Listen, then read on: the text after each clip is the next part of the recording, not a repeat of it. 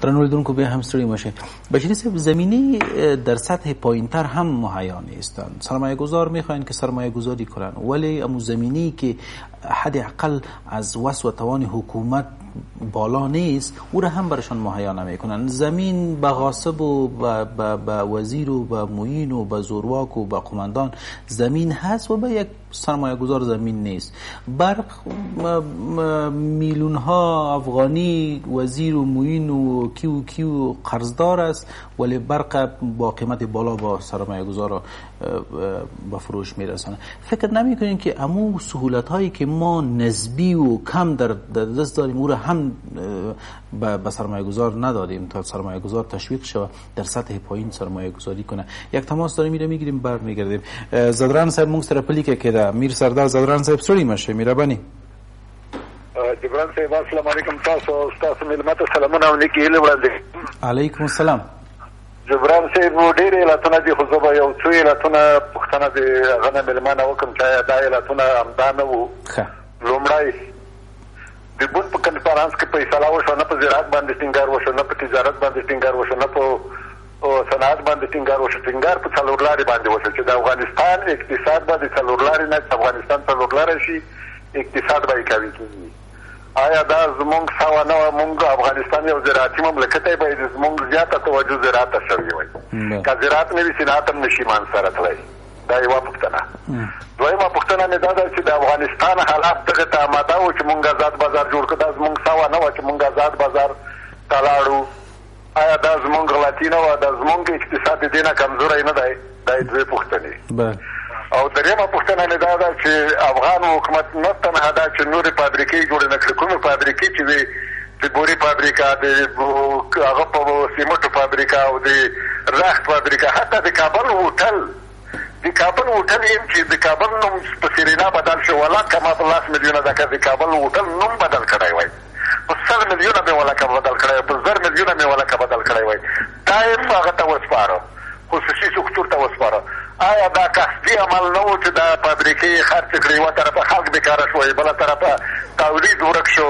نو آیا دا زمونږ عمل قصدي و او که څنګه و؟ پوښتنه مې دا ده مننه. ډېره زیاته مننه. کوم لومړی به بشري صاحب تاسو پوښتنو ته جواب ورکړي. بشري صاحب مهرباني. چی بود سوال شد؟ در سه مورد که در کنفرانس بون تاکید بالای از این نشد که افغانستان یک کشور زراعتی است باید به زراعتشان کارشان به. معادن و به صنعت کارشان. بلکه تاکید بالشان شد که گویا افغانستان به حیث یک چارا باید استفاده شد خب. سوال دومشان هم در مورد بازار اقتصاد آزاد اقتصاد بازار اقتصاد بازار هستند و سیومشان هم به این شکل هستند که نه تنهایی که در می کنیم ده هم ما توانستیم فابریکه های دولتی و یا هم خصوصی را ایجاد کنیم با همکاری هم دیگر بلکه فابریکه های موجودی که بود هم ما به سکتور خصوصی داریم و سکتور خصوصی باز هر نوع که فعالیت کردن و یعنی از دست دادیم. اول سوال اولشون که افغانستان یک کشور زراعتی است چرا بالای سکتور زراعت توجه نشده. این خدمت شانه شود که در انگلستان 60 فیصد مواد غذایی را سکتور زراعتش تولید می‌کنه 60 فیصد. و در این 60 فیصد که sector زراعت تولید می‌کنه فقط دو فیصد labor force مصروف کار است. یعنی دو فیصد قوای کار انگلستان در sector زراعت مصروف است. یعنی کشورهای advance و کشورهای پیشرفته به این لیول یا به این سطح می‌رسند. دومی که sector زراعت افغانستان یک sector بدوی است local است عنعنوی است منتظر باران است میکانیزه نشده و یکی از پروسه های میکانیزه شدن sector زراعت افغانستان تقویت sector صنعت است. این در حقیقت هم سکتور زراعت مان میکانیزه میشه که در پهلوی از او سکتور صنعت از او استفاده کنند مواد خام از سکتور زراعت بگیره در سکتور صنعت او را process کنه و به finished good تبدیلش کنه. یک پروسه به اصطلاح جهانی هم به این مسئله اشاره کردن که بدون زراعت صنعت به پا ایستاده شدن نمی‌تونه. نه خیر. اصلا ما صنعت را که در افغانستان ما می‌خوایم بالای از او کار کنیم به عنوان امو خطوط اساسی تولید که ما باید در روزو مزیت نسبی داشته باشیم صنعت ما بدون شک باید از کوتا تا میان وابسته به سکتور زراعت باشه. ما مسئولات زراعتی را مثلا ما فابریکات آرد افغانستان براتون مثال میتم که مواد خام از اونا گندم است. تا اونا گندم می‌گیرن با آرد تبدیل می‌کنن. و متاسفانه که گندم کافی که به عنوان مواد خامشان از در داخل نمی‌تونیم تولید کنیم از ترکمنستان و ازبکستان وارد می‌کنن و از اونام همیشه ادعایشان همیست وقتی که میگه ما از ترکمنستان و ازبکستان آسیای مرکزی وارد می‌کنیم گندم کلاس 4 به ما میتن کلاس اول نمیتن و تقاضایشان است که بیشتر تولید گندم در افغانستان رشد پیدا کنه. این یک مثال بود که رابطه سکتور زراعت و صنعت نشان داد. ولی تلاش ما ای است در چارچوب اقتصاد بازار به ویژه شورای عالی صنایع که ما امی فشار بالای سکتور زراعت کم بسازیم قوای کار کمتر در سکتور زراعت مصروف بسازیم دو فیصد می‌تونه که 60 فیصد قوا تولید به سکتور زراعت به دست بیاره در صورت یک میکانیزه شود فقط میکانیزه شدنش از کوتاه تا میان مدت آب است که ما آب وافر داریم بند آبگردان ایجاد شد بندهای آبگردان امی آبها از 85 میلیون متر مکعب آب که ما سالانه داریم فقط می‌تونیم 15 فیصدش استفاده کنیم. یعنی اگر ما به شکل کلی بریم به طرف سکتور زراعت و نقطه تکای اقتصاد خود سکتور زراعت بسازیم یک استراتژی به اصطلاح خوب نیست استراتژی پایدار نیست. چون امروز استراتژی پایدار قوت سکتور صنعت است در تمام جهان. شما کشورهای جی اف ببینید فقط با تولیدات خود اونا رقابت می‌کنن که از سکتور صنعت بوده می‌تونه. یک بحث. بحث دیگه که قرار بود افغانستان چارراهی منطقه شوه بدون شک اگر شوه برای ما یک یک یک vision است یک آرمان است که به او برسیم. نقطه geo economic منطقه هستیم. هم از لحاظ ترانزیت انرژی هم از لحاظ ترانزیت کالای تجارتی. نه تنها تنها همی, همی یک کشور ترانزیتی به عنوان یک ترافیک در منطقه که شویم سالان هم حتی میلیاردها دلار به عنوان حق ترانزیت. خب مسئله که جمهور بعد از یک نیم دهه مطرح می‌کنن که باید افغانستان چارای اقتصادی گردد. شود. امکاناتی که وجود دارن؟ جناب صاحب چگونه می‌تونیم ما به چارای اقتصادی بدل شیم ما تنش های سیاسی که در نظر می‌گیریم خصوصا در سه سال و یا هم سال اخیر 2016 و 15 ما واقعا به تقابل سیاسی میریم نه به یک همکاری اقتصادی. پس چگونه ما می‌تونیم که به این مرام خود برسیم؟ اصلا امی چارای اقتصادی شدن افغانستان و امی نقطه جیو اکانومیک بودن افغانستان و موقع افغانستان دمی نقطه یک به اصطلاح از دید ما یک داد خدا خدایی است. یعنی خدادادی هم یک فرصت بر افغانستان و با مردم افغانستان داده شده ولی با نیاز داره که سیقل شود. مانند الماس است که باید سیقل شود. امی سوال شما که ما باید چی نیاز داریم بکنیم؟ یعنی چیزی را که ما نیاز داریم و رئیس جمهور می‌خواهد که ما نقطه ترانزیت منطقه شویم. در قدم اول زیربناهای ترانزیت باید در افغانستان بالاش سرمایه گذاری شود که خط آهن است سرک های میاری و با میارات منطقه است سازمان تیر میارات مشخص خود داره این سرک خب، ایجاد خب شود. ما, ما اکثر سازمان ها را عضویتشان نداریم. سازمان تیر و سازمان شانگهای و سازمان دیگر و یا در در در بخش خط آهن ما عملا فعلا کارهایی را انجام دادیم. یعنی روزنی شده می‌تونه واقعا هم به مرامی که ما برسیم که به یک حیث چارای اقتصادی مطرح شویم در منطقه؟ اصلا امی بحث نقاط تفاهم در منطقه و منافع مشترکی که در سطح منطقه مطرح میشه و امی عضویت ما در امی سازمان های مختلف منطقه‌ای به این معنا نیست که این سازمان ها مانند سازمان ملل متحد یک سازمان کمکی باشه و ما را کمک کنه ما همیشه وقتی که به بسیار عجله میریم عضویت یک سازمان در سطح منطقه می‌گیریم مثل ایکو و سارک و شانگهای و تیر و حتی WTO یا سازمان تجارت جهانی.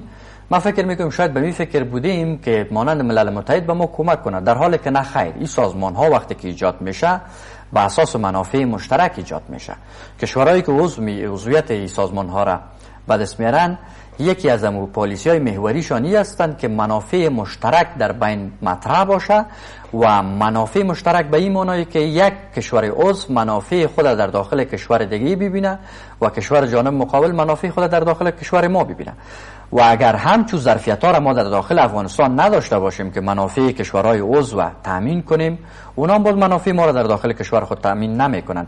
از او جمله ما عضویت افغانستان در سازمان تجارت جهانی براتون مثال می‌تونم که تا امروز کدام ثمره موضوع ندیدیم. خب. به سکتور خصوصی. برعکس جناب بشیری صاحب ولی دمی یک نیم دهه هیچگاه راپور و یا خبر و یا هم مورد ما نداریم که افغانستان مشکل ایجاد کرده با پاکستان از خاطر ترانزیت. یا هم افغانستان از نگاه ترانزیت مشکلی را به آسیای میانه به انتقال در به آسیای جنوبی.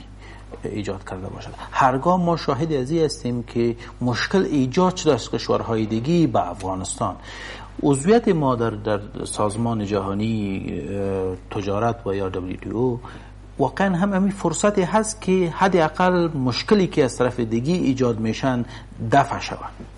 ببینین اصلا وقتی که ما عضویت سازمان تجارت جهانی را می گرفتیم قبل از باید یک بار پالیسی های سازمان مطالعه می کردیم که پالیسی های از این سازمان چگونه است شرایط پذیرش اعضای جدید چگونه است به اساس کدام شرایط اینا میپذیرند ایران که در پهلوی ما هستند فعلا عضو ناظر است.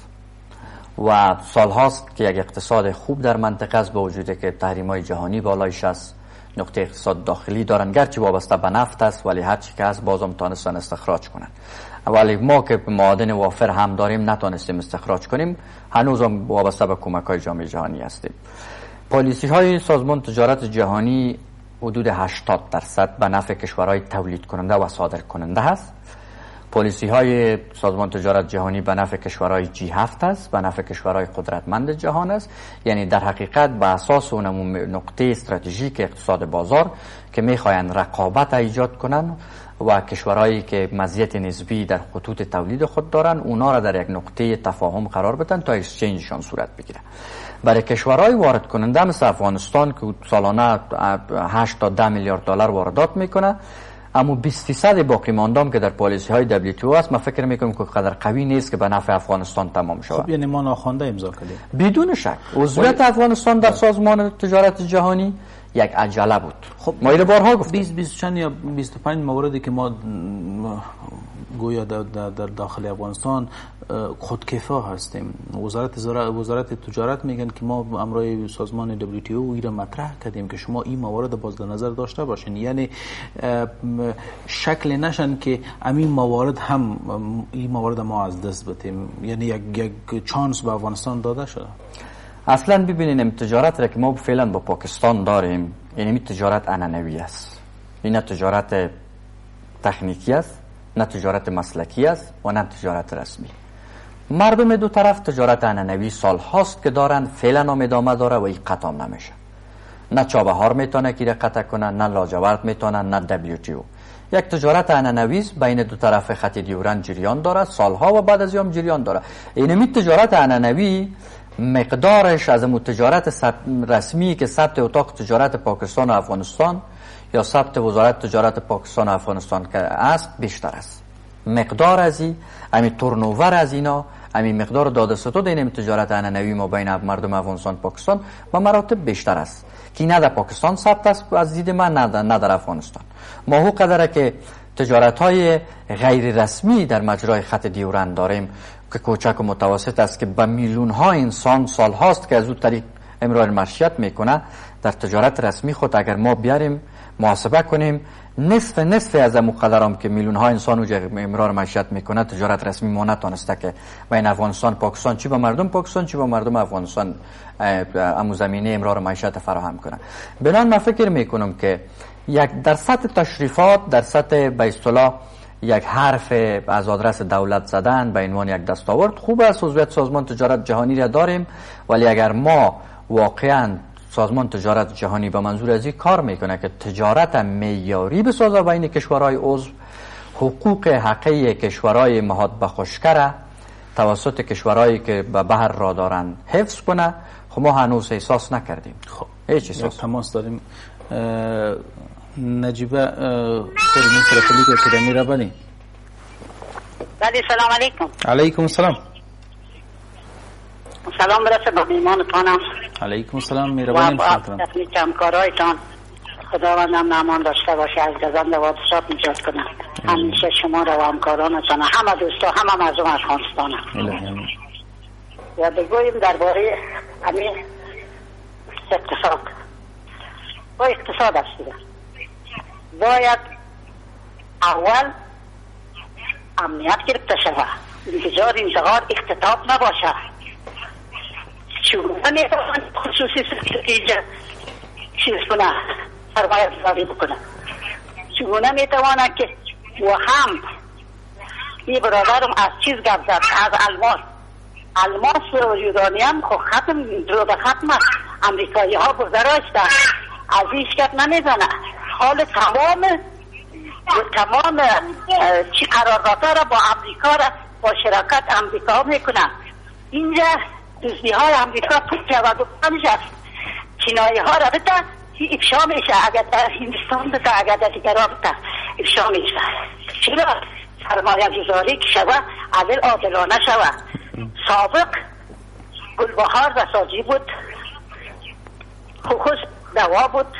از بیرون نمی آوردیم لبلبوی بغلان بود که گوره ما از حتی شوروی دوست کشور نزدیکش هم باشه نمی‌خواست. زمان سابق سابق زارشا و داود خان در زمان که انقلاب شد انقلابی ها یک اندازه فامیدن داشتن بیعقلم داشتن. در مابینشان اختلافات شد افغانستان همین طور شد. اگر آنها را از نشان هیچ کس گرفته نمیتانست بله. آنها یک اندازه بیعقلا داشتن نامایشان افشا نمی‌کنن باید رئیس جمهور اول امنیت رو بگیره خب. بی امنیت هیچ وقت اقتصاد نیست. اقتصاد بله. خراب میشه و ایرانی میشه هیچ وقت بی امنیت نمیشه. مردم از میآید خب از کرکت آمدگی را سر شما را هیچ کس اونجا نیستم. خدا هم هم جوانا را نگاه داشته باشه. آنها را گرفت. انفجار در اونجا رخ داد. او هلمند انفجار در مابین بازی کنان پشتی کج بود چی بود؟ در اونجا انفجار داد. خب. اینا را که لوشه بگیره مردم شده هست مردم رو به گریز است. در کجا بگریزن حاله. خب تشکر واقعا هم. پاکستان تریبکار تریبش خورد. چند تا ملاد مجاهد هستم گفته مردم افغانستان در بدر کرد. اینا را که روشه بگیره بله. دیگه را تنظیم تنظیم باسی والی نشوه وزیر نشوه تنظیم ها بی طرفا وزیر شوه بی طرفا والی شوه دیگه گفتنی ندارم. خداوند شما را امن امان داشته باشه. الله حافظ نگهدارتان. زنده باشین همشیر محترم. شما هم در حفظ امان خداوند باشین. بشیری نقطه جالب هم مسئله امنیت است. در سرمایه گذاری خورد در سرمایه گذاری خصوصی و سکتور خصوصی باز در مجموع در در منطقه و در در در جهان. شما پیشتر اشاره کردین اگر ما امکانات لازمه به کشورهای عضو سازمان ها ایجاد نکنیم طبیعی گپ هستند که وادل خوش نمی‌کنند و می شکل اگر ما امنیت نسبی بهتر نداشته باشیم سرمایه گذار داخلی قطعا دلخوش نمی‌کنن. و یا هم اگر سرمایه گذار داخلی با هر امو مشکل و چالش های را قبول کرده و سرمایه گذاری کنن سرمایه گذار خارجی قطعا حاضر نمیشن. پس چگونه ما می‌تونیم به می مرام برسیم که ما یک کشور صادراتی باشیم و یک کشور چارای اقتصادی؟ اصلا ما در شروع صحبت ها اشاره کردیم که بحث امنیت در افغانستان یک بحث عمده هست و یکی از دلایلی که دولت بیشتر بالای برنامه های اقتصادی رفاهی و تجاری توجهش کمتر است. امی بود که در اولویت های دولت بحث امنیت تامین امنیت و جنگ های داخلی افغانستان قرار دارد و جنگ که بالای ما تحمیل شده تروریسمی که بالای ما تحمیل شده و یک جنگ تعمیلی است و دولت ناگزیر که در اولویت بندی هایش در اولویت اول قرار داده. ما این اشاره کردیم و همه روزه شما می‌بینید که پلیس افغانستان ارتش افغانستان امنیت افغانستان درگیر جنگ هستند و مصروف تامین امنیت هستند این یک اصل عمده است. به اصلاح اگنور نمیشه و دولت در حال تلاش است که تامین کند و صلح پایدار در یک کشور با همکاری جامعه جهانی. ولی بحثی که سکتور خصوصی افغانستان مشکل امنیتی دارد تنها مشکل سکتور خصوصی افغانستان با مشکل یا با بحث امنیتی خلاصه نمیشه. سکتور خصوصی افغانستان مشکلات تکنیکی و مشکلات فنی هم داره مشکلات مالی هم داره. امویی که شما اشاره کردین که چطور ما یک کشور صادراتی شویم اینمی چطوره که ما یک کشور صادراتی شویم؟ تمام وسایل حبزاره برنامه را و میکانیزم ما به دولت به عنوان یک پالیسی پیشنهادی خب جناب ببینین ما تا 2014 اقل تشویش نداشتیم و بیشتر شرکت های خصوصی و یا هم بخش سکتور خصوصی دل خوش می‌کرد که سرمایه گذاری کنن. بعد از او یک, یک نوع گراف به طرف پایینی میآیند تا حالا. حالا فقط فکتوری که تاثیرگذار و تاثیر منفی گذاشتن امنیت و یا هم سهولت های دیگری که شما میگین که مشکلات تکنیکی دیگی هم است. مشکلات تکنیکی سبب ازی شدن که سرمایه گذار سرمایه گذاری نکنن و یا سرمایه گذاری که کدن او را بگیرن و برن به کشورهای دیگی و یا مسائل امنیتی برایشان بسیار مهم است. مسائل امنیتی بدون شک در اولویت قرار داره تا زمانی که در یک کشور امنیت نباشه در حقیقت از دیدگاه اقتصادی work space وجود نداره یا فضای کاری وجود نداره. زمانی که فضای کاری وجود نداشت نه برنامه به منظور جلب سرمایه گذار و حمایت سرمایه گذار و سرمایه گذاری نمیشه که تطبیق شود. این موضوع است که به اصطلاح قضیه ثبوت شده به عنوان قضیه ثبوت شده. ولی تا 2014 که شما میگین که یک رشد بسیار خوبی بود در بازار نسبی, نسبی بله. در بازار افغانستان. ما همیشه سرچپه حرکت کردیم. ما تا سال 2014 به اندازه هم خارجی ها و هم داخلی ها بالای سکتور خدمات سرمایه گذاری کردیم که بالاخره سهم سکتور خدمات در جی دی پی افغانستان فعلا 56 فیصد است.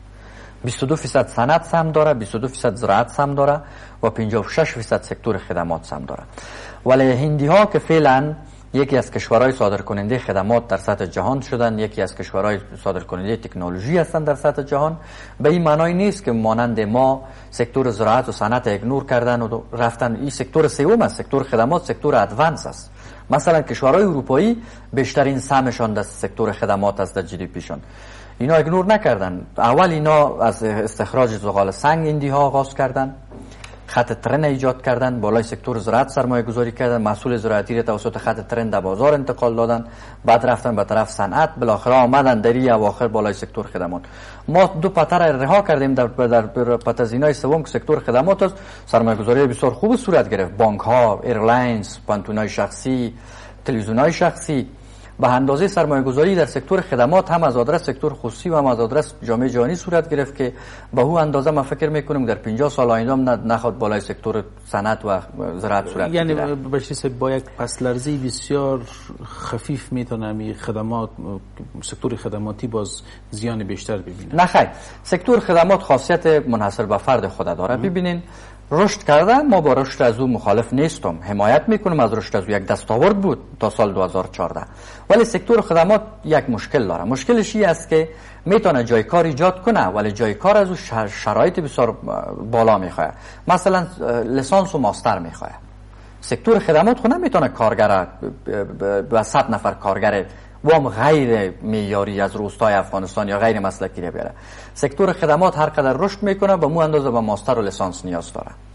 بنان ما نیاز داریم که باز به تناسب رشد سکتور خدمات رشد سکتور تحصیلی و تعلیمی خودم موازی گسترش بدیم که ماستر و لسانس فارغ شوه که در سکتور خدمات وظیفه بگیره یعنی ولی سکتور... آینده ساز هستن جناب بشی بدون شک من اشاره کردم که لیول ادوانس است. زراعت صنعت باز خدمات. لیول ادوانس است. در کشورهای جهان سوم ما نیاز داریم با وجه کشورهای جنوب آسیا سالانه دو تا سه درصد رشد نفوذ داریم. ما نیاز داریم در تناسب با رشد نفوذ تولید مواد غذایی داشته باشیم آب آشامیدنی داشته باشیم. در غیر از او رفاه برای کشورهای جهان سوم نسبت به رفاه با احاده رفاه بر مردم اروپا متفاوت است. خب جناب بشیر صاحب همین سکتور خدمات نه که شما اشاره کردین. ببینید دقیقا در سال 2014 و بعد یا خصوصا در سال 2014 وقتی که کمک های خارجی قطع شدن و یا هم کم شدن و یا بیشتر نیروهای نظامی امریکا و یا هم متحدینشان از افغانستان برآمد شما یک یک یک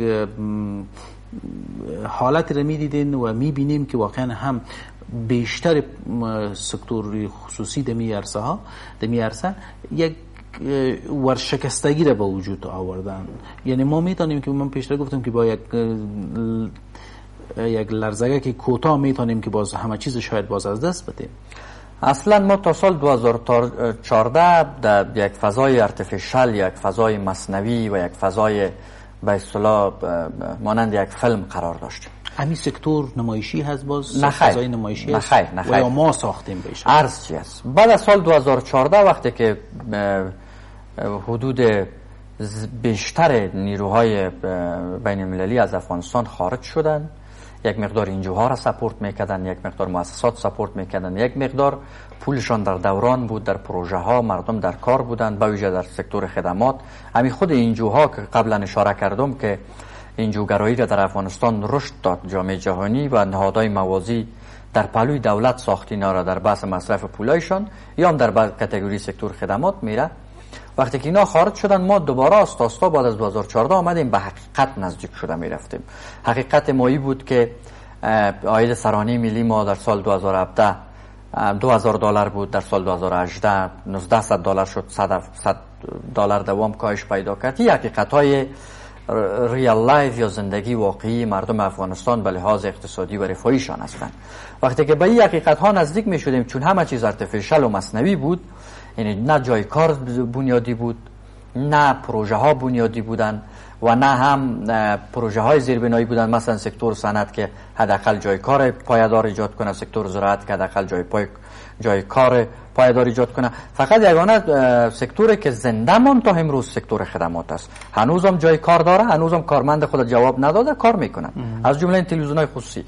ولی این سکتور سکتور خوبی است. ما ما نگران به این هستم که سکتور از دست ندیم با این سکتور دگام حمایت شوه حداقل حالا که در سکتور خدمات 56 درصد سهم در GDP کشور ما داره. بسیار خوب است. این حمایت شوه که ما داستا مثلا اتصالات از دست نتیم روشن از دست نتیم که بازارها جای کار ایجاد کرده. مثلا سکتور خدمات بزرگتر دیگه که در کشور است و امثال هم تشکر جناب بشری صاحب با امید امی که نه تنها ای باید از دست نتیم ولی دو سکتور مهم و حیاتی به خاطر افغانستان که زراعت و صنعت هستن و در مو پالیشان این دو سکتور زیر بنا بله زیر بنایی هستن باید توجه جدی داشته باشیم. در مورد کل تاسو هم مننه کوم تر بیا په لاس فرم سوکاله اوسئ